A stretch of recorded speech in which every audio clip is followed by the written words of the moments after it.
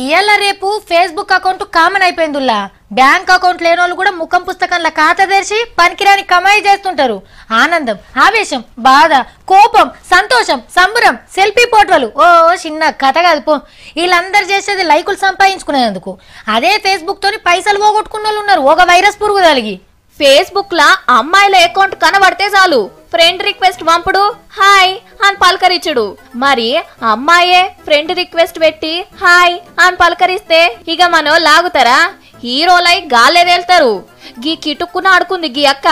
పేరు శృతి. ఉండేది మద్రాస్లా. మారు పేరుతోని అకౌంట్లు తెరిచి అందమైన ఫోటోలు పెట్టి పోరగాన్లను లవ్ల పడేసి లగ్గం చేసుకుందాం అని అంటది. మనోళ్ళు ఆనందం ఆపుకోలేక ఆగమాగం అవుతుంటే అప్పుడే అటుకెళ్ళి ఫోన్ వస్తుంది. మమ్మీకి మంచిగా లేదు దవాఖాన్లో షెరీక్ చేసినాం ఆపరేషన్కు ఐదు లక్షలు కావాలి అని అడుగుతుంది. కాబోయే అల్లుళ్ళు అత్తగారికి ఎదురు కట్నం ఇచ్చి శబాష్ అని అనిపించుకుంటారు పిల్ల దగ్గర. ఇక టెన్కా ఫోన్ స్విచ్ ఆఫ్. పెళ్ళికి ముందే ప్లాట్ కొందాం బంగారం బేరం చేద్దాం అది కొందాం ఇది తీసుకుందాం అని ఎనిమిది మందికి నున్నగా గుండ్లు కొట్టింది. కోటిన్నర రూపాయలు అకౌంట్లో వేసుకొని అడ్రస్ తెలియకుండా తిరిగింది.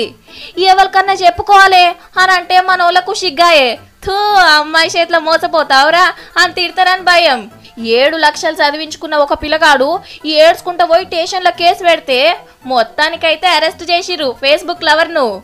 అప్పుడు తెలిసింది అస్సలు ముచ్చట. ఆమె ఒక సినిమాల హీరోయిన్ కూడా. జల్సాల జీవితాలకు అలవాటు పడి సినిమా ఆఫర్లు లేకపోయేసరికి మొగోలను మోసం చేసుడు సురువు చేసింది. దీన్ని బట్టి అర్థం చేసుకోవాల్సింది ఏంటంటే ముక్కు ముఖం తెలవనోళ్ళతోని ముఖం పుస్తకంలో ముచ్చట్లు పెట్టి అస్సలకే ఎసరు తెచ్చుకోవద్దు.